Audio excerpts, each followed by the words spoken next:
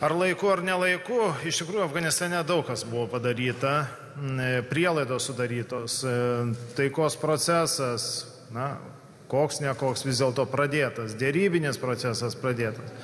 Taip talibanas pradėjo puolimą stiprina savo įtaką mėgina jėga užvaldyti šalį jau kontroliuoja ko gero na dar mažesnę šalies dalį bet vis dėlto tikrai nemenką smurtas taip jisai didelis. Tačiau afganistanas jo ateitis kaip šalies ateitis yra na ne tik talibano rankose. Yra ir tų žmonių kurie norėtų išlaikyti tuos pasiekimus. Na lietuva prie jų irgi prisidėjo. Tai aš manau kad tuos iškovojimus tuos pokyčius kurie buvo įvykę per tuos dvidešim metų didelė dalis afganų norėtų išlaikyti. Kaip klostysis ta situacija daug kas priklausys ar tas derybų procesas kaip dabar bus sustingęs ar vis dėlto jisai pajudės iš to mirties taško? Minėjote kad mėnesį esate čia lietuvoje ir sekate kas vyksta afganistane Taip, be abejo, tai absoliučiai nat, na, na, natūralu, kad grįžus dar, dar tu sėki tą procesą, kaip ten viskas vyksta. ir o, talibano užimama teritorija vis auga ir afganistano valdžios kontroliuojama teritorija vis mažėja. A, kaip tai vertinate? Nežinau kaip jums atrodo kaip tai buvo jausmas viduje koks skaitant va tas žinias?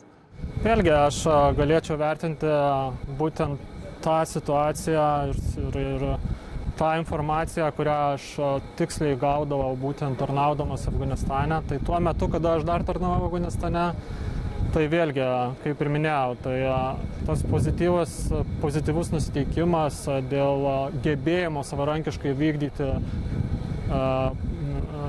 saugumą, savarankiškai užtikrinti saugumą buvo labai didelis.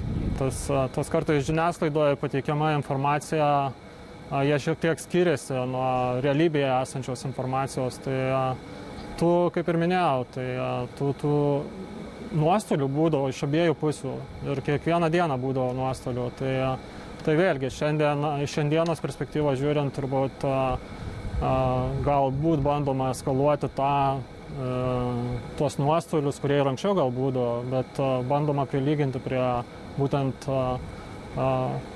tiesiog pririšti prie sąjungininkų išėjimo iš, iš Afganistano ir pateikti tai kaip gal blogo pavyzdį. ir kad jūs nematote kad tai yra nemanote kad tai yra kažkas dramatiško dabar tai kas vyksta Manau, tiesiog reikia, reikia palaukti, pasižiūrėti, kaip, kaip realiai, kokia bus realiai situacija ateityje ir dar, manau, per anksti tiesiog spręsti.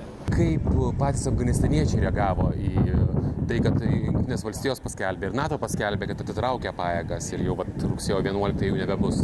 Negalima atmesti e, kitos nuomonės, kuri gal daugiau reiškiasi žiniasklaidoje ir tam, tikrų, tam tikram politiniam a, a, lygyje, kad, kad, kad NATO pajėgų atitraukimas yra dar per anksti, kad reikėtų palaukti dar stabilesnės padėties, bet, bet iš principo pačioje Afganistano, Afganistano nacionaliniai armijoje jautėsi labai pozityvus požiūris, kad jie jau yra pasiruošę perimti saugumą į savo rankas.